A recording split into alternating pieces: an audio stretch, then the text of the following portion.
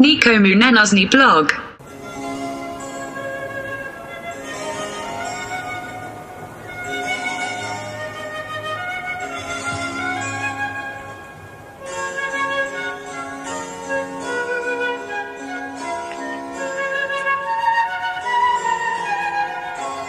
Всем привет, это никому не нужный блог, и мы на улице Чугунная, дом 22, где находится Ленинградское оптомеханическое объединение, куда мы идем для того, чтобы затестить супер модные киношные объективы Ламуа.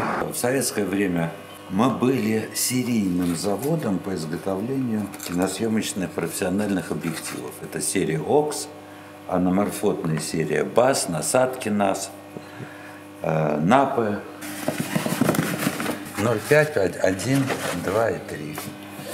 А это аноморфотная насадка экспериментальная.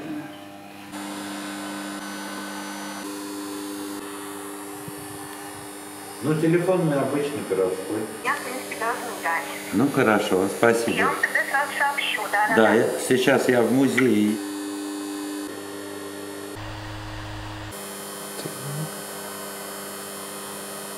Когда он снимал певца на большом заднике.